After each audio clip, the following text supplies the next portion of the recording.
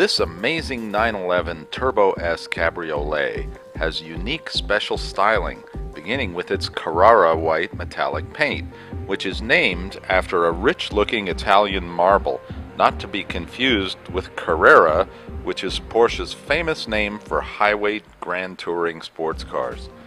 Complementing the exterior color is a brown roof and espresso brown natural leather interior with special carbon fiber trim pieces.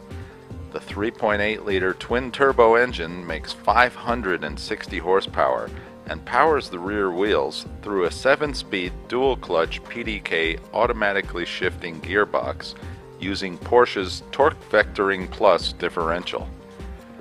Active aerodynamics include a retractable front air dam and rear wing, and three levels of adjustment and tilt. The adaptive sports seats feature 18-way adjustments and heated seats and steering wheel and special interior lighting make this 911 Turbo one of a kind.